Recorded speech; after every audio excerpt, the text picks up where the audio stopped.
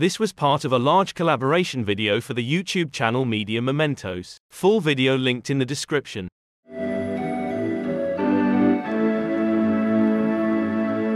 By the way, I was halfway done writing the script before I realized I was sent the wrong film, which had some interesting moments.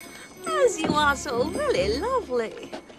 Allow an ugly old clone to give you a girdle of silk as a gift. Anyway, back to the actual film I was supposed to be covering. The movie starts off with a classic storybook-like narration introducing us to prince who's on his way back home to his kingdom. He and his men find themselves setting up camp in a part of the woods that they realized isn't marked on their map. The prince goes out to scout the area as he sings to himself about feeling like he hasn't found the right kind of treasure he's been looking for. I'm going home with gold and silver from all the battles I've won. But even though I've so many treasures, I have a feeling I've none.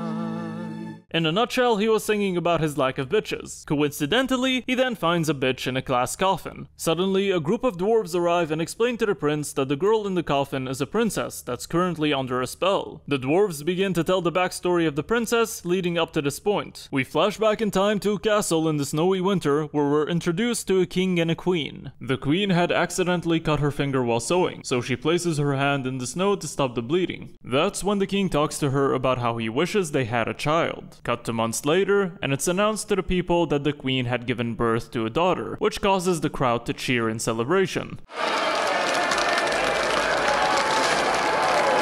However, back at the castle, the queen is on her deathbed after complications due to childbirth. She holds her daughter for the first and last time and names her Snow White, then tells the king that their daughter deserves a mother and he should remarry. Years later, Snow White grows up with a new mother, a beautiful yet evil queen. Snow White sings another song with her father about how happy they are together, Yes, I think that there's a chance. which is the telltale sign that the king is going to die. The queen tells both of them to shut up and go to sleep, and as the king tucks Snow White in, he tells her that they'll be going on a hunting trip tomorrow. After the king leaves, Snow White sneaks out of her bedroom and eavesdrops on the queen, trying to fit into a tight dress. Damn! The queen orders her servants to leave the room, and once she's alone, she activates her magic mirror. Mirror, mirror on the wall. Who is the fairest of us all? Snow White hides behind a corner as the queen walks out of her room. Once the queen leaves, Snow White sneaks back to examine the mirror. Snow White succeeds in reactivating it, and the mirror comes back to life in a pretty simple yet kind of terrifying effect.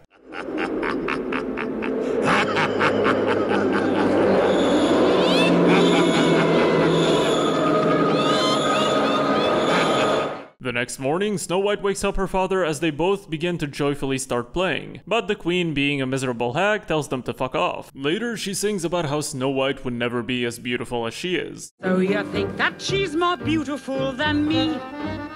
We'll see.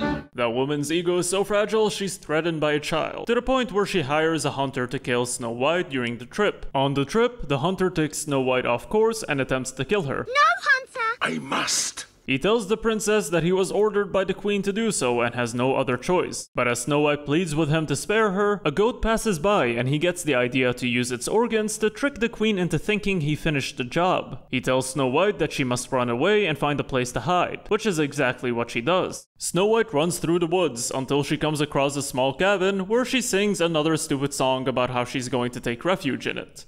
I could go to sleep Shut the up. Later that night, a group of goofy dwarves arrive at the cabin and notice that someone has broken in, later finding Snow White sleeping in one of their beds. They decide to let her sleep, and the next morning they wake her up asking her what she's doing in their home. Snow White explains to them her entire situation, and the dwarves agree to let her stay with them, but not before singing another song where they all introduce themselves. My name is Itty, and this is Biddy, and this is John C. Confusingly cut to a few years later. Snow White, all grown up now, tends to some household chores, while the dwarves work digging in a mine. This all happens in yet another song montage. By the way, they just state that the king was told that Snow White was eaten by wild animals, and this causes him to give up his kingdom and just dies in a random battle. All of that happens off screen, by the way. Back at the castle, the queen asks the magic mirror who's the fairest of them all, and the mirror tells her that it's Snow White in the forest. She survived. Which angers the queen as she decides to kill Snow White herself this time. Disguised as a saleswoman, the queen arrives at the cabin and tries to sell Snow White a bodice. When Snow White tries it on, the queen tightens the bodice to the point where she stops being able to breathe and passes out. As the queen leaves, the dwarves arrive just in time to find Snow White unconscious and take the bodice off, saving her life. The dwarves conclude that it must have been the works of the evil queen, and that Snow White must be more careful next time. Cut to the castle where the queen is bathing. Damn! After her bath, she asks the mirror who's the fairest, and it tells her that it's still Snow White and that she's still alive. Again. The queen tries her luck a second time, now dressed as an Asian woman. If you have lovely hair, you may want in there. Bruh, and this version too? Was this in the original fairy tale or something? Jesus. Anyways, even though the dwarves warn Snow White about being careful, she proves to be an idiot and falls for the queen's tricks again. This time with a poisoned hair comb. Snow White passes out, the queen does her little goofy escape, and the dwarves arrive just in the nick of time to take off the comb and save her. Where she then promises to not open the door for anyone else. Again, the queen asks the mirror to confirm that she's the fairest. The mirror says it's still Snow White. She is not. She is too. Is not. Is too. Is not. Two. Not. Two. Not. Two. and tries for the third and or fourth time now to kill Snow White, this time with a poisoned apple. And you'll never guess what happens next. Snow White actually doesn't take the apple this time. And the sweetest. No, uh, Yep, I was surprised too. I wasn't expecting this. That's psych! She does, because she's a fucking dumbass. What is delicious?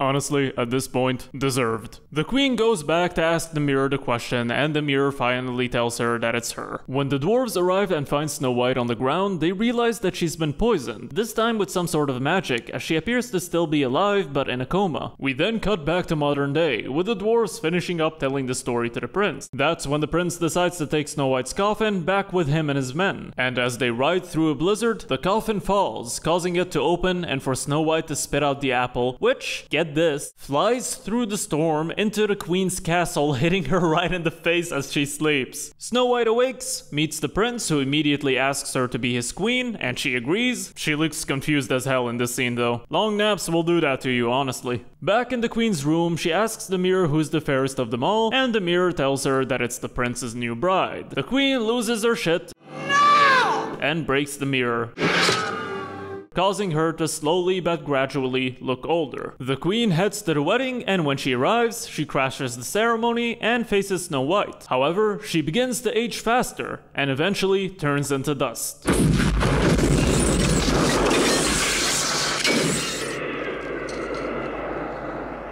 Everybody decides to ignore all that noise, and Snow White and the Prince kiss, and the movie ends. Okay, I guess. The movie felt like it was simply running through the motions of a Snow White story. At first, I thought they were about to do something new, as it started at the point where the story usually ends, but they just did the cut back to years earlier trope. I feel like, you know, we should start our stories where they begin, not start them where they get interested. Get out. I'm assuming they did it so that the introduction of the prince doesn't feel so random. The film starts off with a storybook style narration to the audience, but then moments later, the dwarves start narrating the backstory of Snow White to the prince, which felt really off and not well thought through. Oh yeah, and the film really didn't need to be a musical. The music itself is pretty weak. I don't usually critique music because I myself aren't very knowledgeable about the subject, but in terms of how well the musical sequences are used to help tell the narrative, they were pretty bad at that. They felt like they were just there to extend the running time of the movie. Though the songs were mediocre at best, some were catchy, like the one for the dwarves, even though it was kind of annoying, and the one for the queen had some really good energy in its performance. Which leads me to the acting. The actors do their best, with the standout being Diana Rigg as the evil queen, but others, such as the two actresses that play Snow White, were just terrible, as their performances were bland and awkward, as well as lacking any sense of proper emotion. No, Hunter! What is delicious? That being said, despite all that, I'm happy to say that the best aspect of the film has to go to the makeup and art direction. They really managed to up the aesthetic of the movie, and the visuals, such as the faces on the mirror and the queen aging, were really effective. My final thoughts on the film are that it's not very good but has some interesting aspects in it, but I still wouldn't recommend it to anyone. And that's all for my part. Thanks for having me. Subscribe to Aim by Frame.